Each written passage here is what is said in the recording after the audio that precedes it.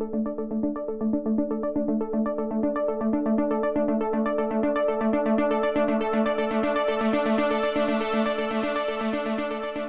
Mayor, City Council President, and everyone in attendance this morning. I'm Ben Neely. I'm the Deputy Director of the Department of Public Works, and I'm representing Director Al Foxx this morning.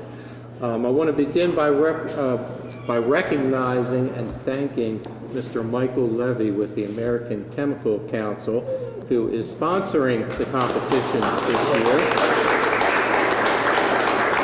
I also want to recognize Valentina Ukwuoma, the head of the Bureau of Solid Waste. And with us this morning, we also have our clean community characters. We have Recycle Rick, Bay Beauty, and Leafy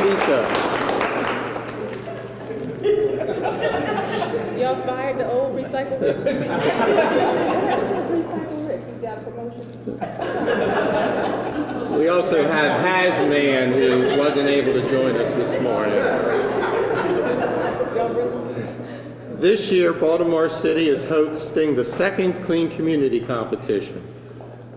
A great number of communities participated last year and enjoyed this friendly challenge, which gave them the opportunity to show pride in their neighborhoods while making a commitment to keep their communities clean. They were rewarded for their efforts, and we appreciate the attention they gave to the goals we set for an improved quality of life for the citizens of Baltimore City. An event like this shows that pulling together as a community gets things done. It promotes a cleaner, healthier environment and is in line with the mayor's goal of bringing 10,000 new families to Baltimore over the next 10 years. I thank all the, the communities that have participated uh, in last year's competition, as well as those who will be signing up shortly for this year's competition. And with that said, it's my pleasure to introduce the inspiration behind the competition, Mayor Stephanie Rawlings,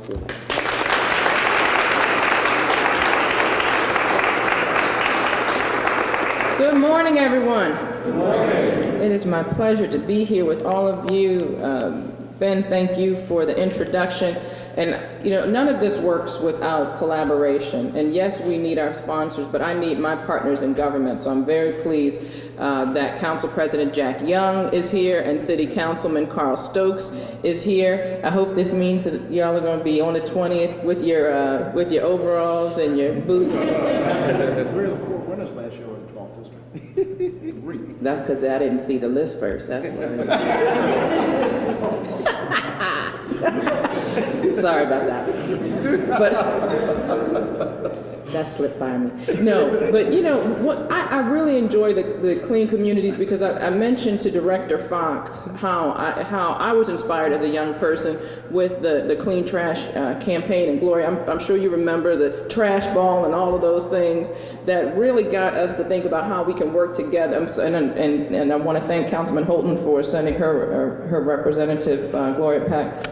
Uh, but the things that inspired us to care about our community, and that's one of the things that I was really hoping that this this Clean Communities campaign would be that tradition uh, for this generation. And uh, I can say that uh, when you last year when we announced the winners at the fall cleanup, and I awarded one of the uh, community leaders with their check, and she stood there with tears in her eyes. I said, maybe we're on to something. Maybe this will be the thing that, that really connects because you know what it means when you're able to pull your community together, and, everybody knows how hard it is to sometimes just find one volunteer that wants to participate, but when you make it work and when everyone's working together, it's special. It is inspirational, and I'm very, very pleased uh, that the, the work that the uh, Department of Public Works is doing to bring communities together. Uh, sometimes all it takes is a little friendly communicate, I mean, competition, right? And we can all get good things done. So uh, last year we saw that the participating groups were doing more than just cleaning their streets and alleys. They were strengthening the bonds between their neighbors. As, as I continue uh, my efforts to grow Baltimore by 10,000 families over the next 10 years, this will be a part of it making sure that it's, it's not just people that we're bringing, but communities that we are building. Uh, when people work together to clean streets, to clean waterways, and to clean neighborhoods, they become more connected with the community and with, um, with, with each other. And we know that a dirty community is a major indicator of underlying uh, problems, not using trash cans, careless littering, unattended vacant lots, and uh, dirty storm drains. All of those are indicators uh, that something else is going on in the community, and that sends up a, a red flag for us that we need to get in there uh, to do more, to do more in partnership, and uh, to make sure that, that we are aware of the communities that need to be uh, to need to be bolstered and where we need extra help. So 72 communities swept, planted, removed bulk trash, painted, and otherwise beautified their neighborhoods in the competition last year.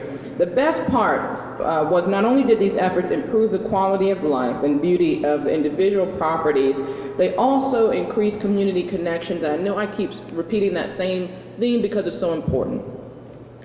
Um, and I, and again, I couldn't do it without the uh, support of our public partners and our private sponsorship. Private sponsorship provided more than $24,000 worth of prize money that was handed out to eight winners in October of last year. And we're doing it again because we made a difference. So, Four first place prize and four second place prizes will be awarded based on quadrants of the city during the fall cleanup of October, on October 26, 2013. The first place neighborhood will receive $5,000. A second place neighborhood will receive $1,000. Participating communities will be judged on cleaning and recycling efforts, including the overall increase in recycling tonnage, removing debris from vacant lots, trash cleanups from streets and alleys, clearing, sweeping storm drains, greening and beautification, and more. We, we, we always look for ways, we have to even the playing field because not everyone has a vacant, praise God, not everyone has a vacant lot, but there are more things that you can do.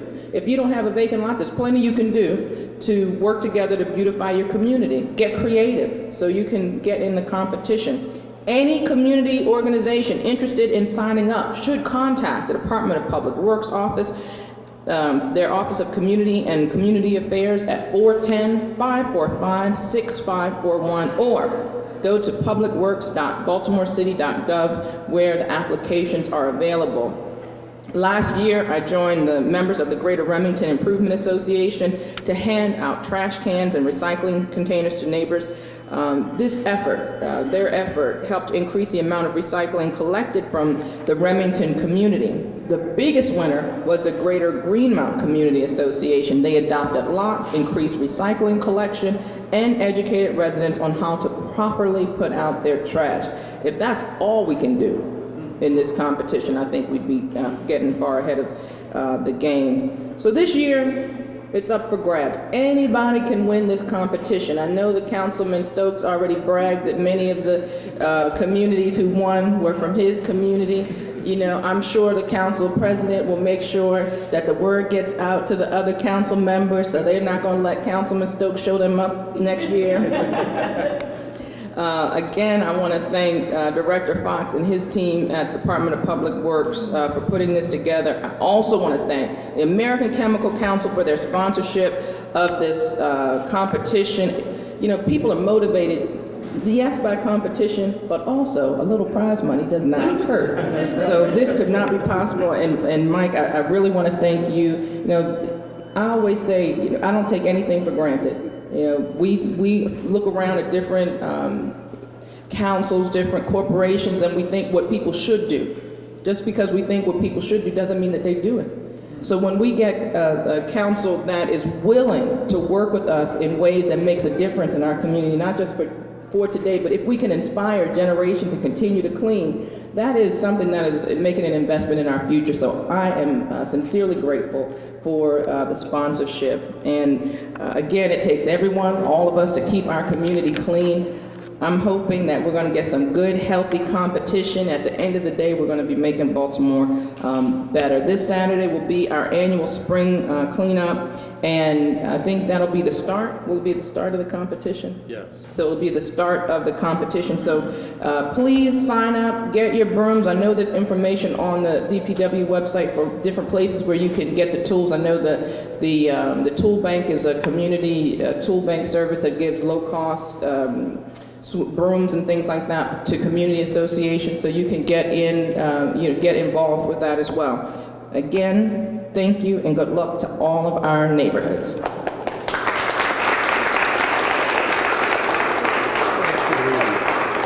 Now, it is my pleasure to bring up Mr. Mike Levy from the American Chemical Council.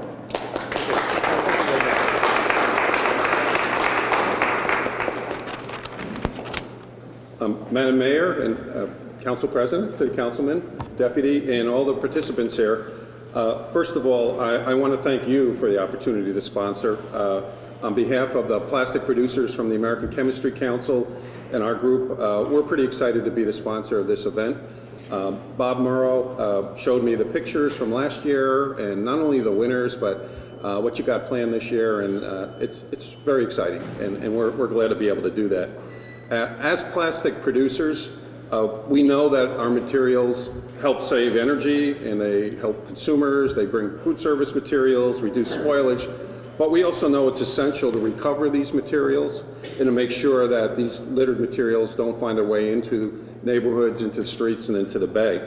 So again, we're really pleased to partner with the city uh, in a community-by-community effort because while we're a national group, we know it's community by community. We've seen communities do this, and it's pretty exciting to motivate, whether it's through competition or not. Uh, So once again, uh, the mayor talked about the 72 communities last year. Uh, In the spirit of competition, we hope that this year's event will be even more successful. And I think what, what the mayor hit on is so important is that this is really a collaboration. It's, it's the communities working together with all of us, whether we're in industry and government. And we're proud again to be this year's sponsor and look forward to working with the mayor and, and Department of Public Works. Thank you.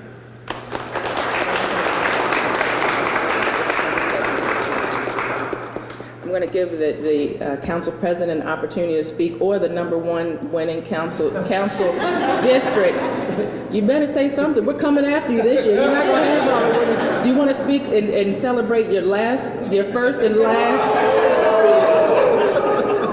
On, Councilman Stokes. You can speak on behalf of the council. Thank you, Madam Mayor. Good morning, everybody.